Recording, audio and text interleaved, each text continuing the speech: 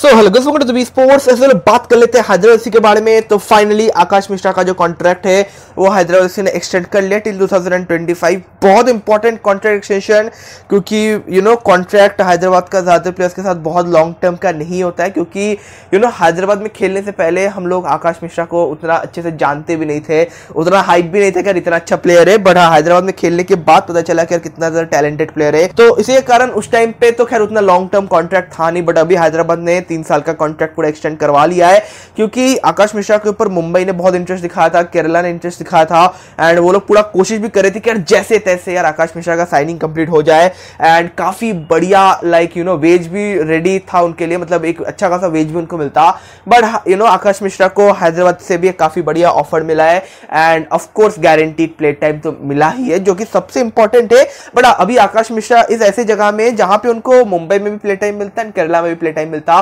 But उन्होंने हैदराबाद को choose किया क्योंकि एक तरह मेरोला मार्कस रोका के अंडर वो खेलना चाहते हैं। एक बहुत ही बढ़िया कोच है एंड अच्छे कोचेस के अंडर प्लेयर्स खेलना चाहते हैं। जहाँ पे specially you know Manolo Marquez Roca ही वो कोच है जिनके अंडर इनका परफॉर्मेंस इतना अच्छा हुआ है एंड जिन्होंने इनको एकदम डायरेक्ट मौका दिया कि हाँ यार, तुम जाओ। यंग प्लेयर हो, कोई बात नहीं, आप खेलो। गलती होगा क्योंकि ये चीज़ हम लोग को समझना काफ़ी ज़रूरी है कि यार प्लेयर से वो गलती करेंगे, वो भी इंसान ही है। लेकिन वो गलतियों से जो सीखना होता है, जो मेरोला मार्कस रोका का, अगर आप कोई भी इंटरव्यू देख लो, पुराना, नया उनमें एक चीज़ बहुत कॉमन है कि वो गलतियों को प्रेस करते कि हाँ यार, ये चीज़ सही नहीं है।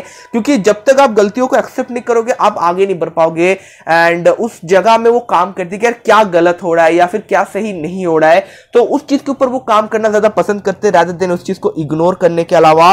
तो ये तो खैर बहुत ही अच्छा बात है उनका। एंड इसी कारण प्लेयर्स बहुत ज़्यादा लाइक उनका गेम भी बहुत इंप्रूव होता है हैदराबाद में रिसेंटली तो इसीलिए लाइक मतलब मार्कस का नो डाउट इंडिया में currently one of the best coach है। एंड लाइक यू नो उनके टीम में खेलना किसी भी यंग प्लेयर के लिए लाइक like, अभी तो सच में सारे यंग प्लेयर यही टारगेट करे कि हैदराबाद में मौका मिल जाए। क्योंकि उनको भरोसा है कि यार अगर वहाँ पे मुझे मौका मिलता है तो वहाँ पे मुझे प्ले टाइम में मिलेगा एंड मेरा गेम भी इंप्रूव होगा। तो ये जो थॉट प्रोसेस ये जो thinking Manolo Marquez Roca develop कर पाए क्योंकि फ़र्स्ट सीज़न हैदराबाद बहुत खराब परफॉर्मेंस सेकंड सीज़न में बजट भी काफ़ी ज़्यादा कट ऑफ़ हो गया था। बट फिर भी मेरोला मार्कस रोका को जितना बजट मिला फॉरेन प्लेयर्स ज़्यादा इंजर्ड ही थे। मतलब पूरा आधे से ज़्यादा सीज़न अगर हम लोग फ़र्स्ट सीज़न देख ले, अंडर मेलोना मार्कस रोका। ज़्यादातर फॉरन प्लेयर्स इंजर्ड थे हंड्रेड फिट नहीं थे, ज़्यादा कुछ खास फॉरन प्लेयर भी नहीं था। बट फिर भी लाइक सिर्फ़ यंग इंडियन प्लेयर्स वो भी नोन नहीं सब अननोन यंग इंडियन प्लेयर्स को लेकर उन्होंने जो टीम खड़ा किया है जो स्ट्रैटेजी बनाई एकदम कमाल एंड uh, उसमें से आकाश मिश्रा का नाम डेफिनेटली आएगा। Akash Mishra Chinglen Sana Singh and you know बहुत सारे प्लेयर्स है। लंबा लिस्ट है लिस्टन कोलेसो आप बोल सकते हो लिस्टन कोलेसो का तो खैर सबसे बेस्ट गेम अभी है टीके मोहन बगान में।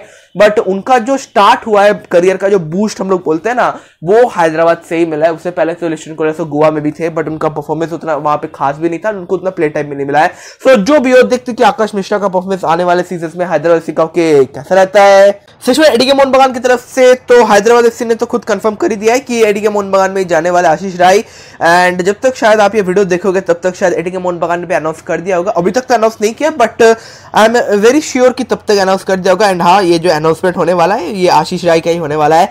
एंड एक बहुत ही बढ़िया साइनिंग एडी के मोहन बगान के लिए हम लोग को बहुत पहले ही पता चल गया था कि you know Ashish Rai ATK Mohun Bagan में आने वाले राइट बैक पोजिशन के प्लेयर है। And you know basically Prabir Das को रिप्लेस करेंगे। उनको एक राइट बैक पोजिशन का प्लेयर चाहिए भी था। तो आशीष राय बहुत ही अच्छा साइनिंग है। एंड अगर हम लोग देख ले तो सिर्फ़ ट्वेंटी थ्री ईयर एज इनका एज भी बहुत ज़्यादा नहीं है। परफॉर्मेंस नेशनल टीम का भी बहुत अच्छा है। हैदराबाद का हॉकी भी बहुत ही कमाल का है। बहुत ही बढ़िया स्पीड है स्किल भी कमाल का है डिफेंसिव एबिलिटी भी बहुत अच्छा है। सो एक कंप्लीट प्लेयर है। एंड ऐसे प्लेयर का साइनिंग कंप्लीट करना भी काफ़ी बड़ा बात होता है एंड काफ़ी बढ़िया डील होता है।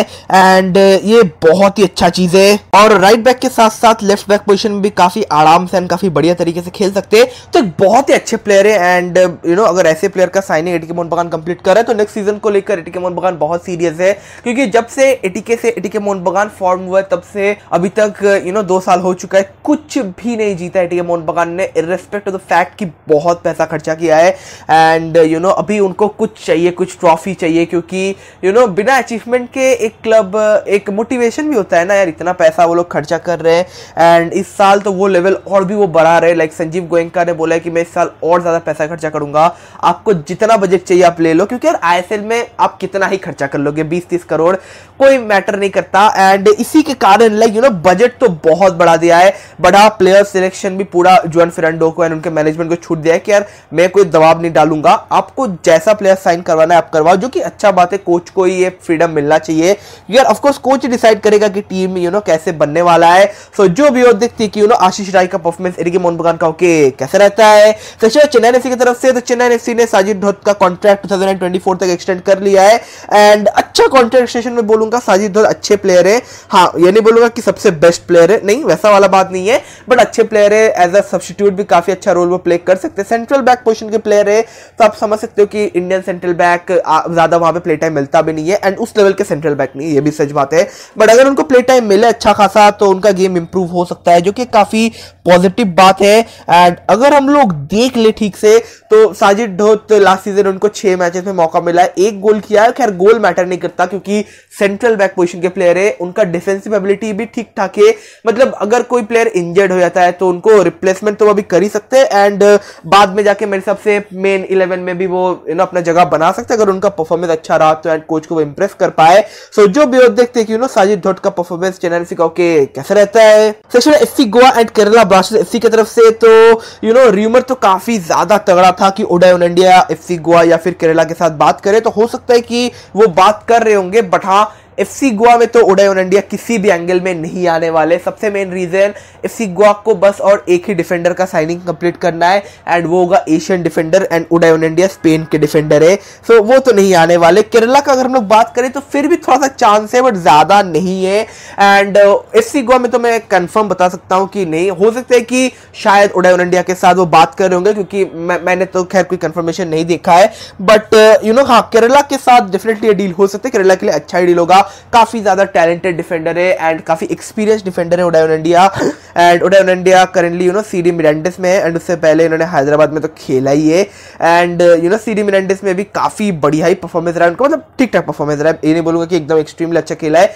सेकंड डिवीज़न है लालिका का एंड उसमें लाइक उनका एज अ सब्सटीट्यूट उनका रोल भी काफ़ी इंपॉर्टेंट होता है। एंड उड़ीसा के साथ भी उडायन इंडिया बात कर रहे थे, जो कि मैं कंफर्म कर सकता हूँ कि हाँ उड़ीसा के साथ वो बात कर रहे थे। बट बात बहुत तक आगे बढ़ा नहीं एंड एफ़ गोवा में भी वो नहीं आने वाले सो जो भी दिखती कि क्या फाइनली उडायन इंडिया आईएसएल में वापस। आते नहीं सेक्शन है चेल्सी की तरफ़ से तो चेल्सी एक जो अपना जो अटैक है, उसको नए तरीके से बनाना चाहता है। एंड उस नई तरीके से बनाने के लिए चेल्सी सबसे पहले साइनिंग कंप्लीट करना चाहते हैं रहीम स्टर्लिंग का।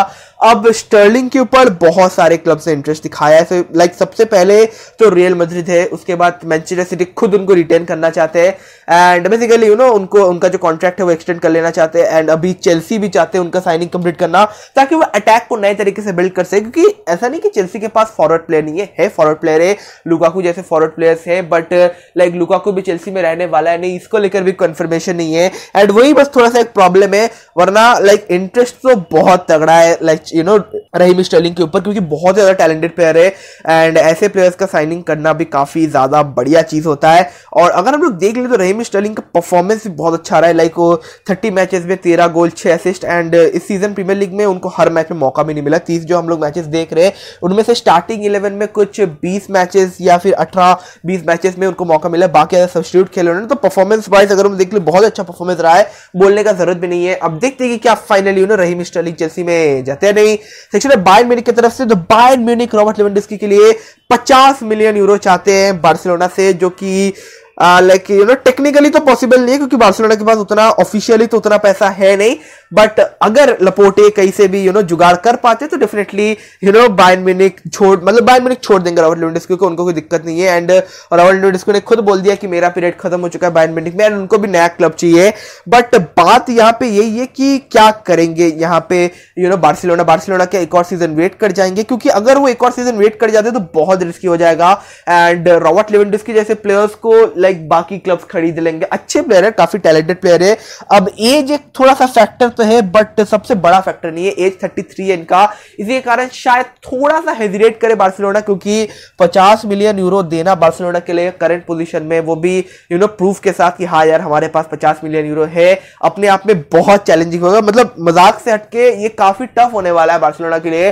फेरन टॉरिस का साइनिंग कंप्लीट किया है, बहुत ही मुश्किल से। लाइक किसी को भरोसा ही नहीं हुआ कि यार फेरन टॉरिस को ट्रांसफ़र फ़ी देकर खरीदा है बार्सिलोना ने। तो हाँ फाइनेंशियल सिचुएशन उतना भी अच्छा नहीं है। खैर, एक साइनिंग तो लपोटे ने पुल ऑफ़ कर दिया जस्ट बिकॉज़ उनको एक यू नो फ्री हैंड देना था जावी को। बट अभी ये सेकंड साइनिंग लेवेंडस्की का साइनिंग कंप्लीट करना थोड़ा सा मुश्किल होगा। अगर बायन मिनिक थोड़ा सा अपना प्राइस को थर्टी ट्वेंटी में ला दे मिलियन यूरो में, तब हो सकता है। अब जो भी दिखती कि क्या final you know Robert Lewandowski Barcelona में आते नहीं।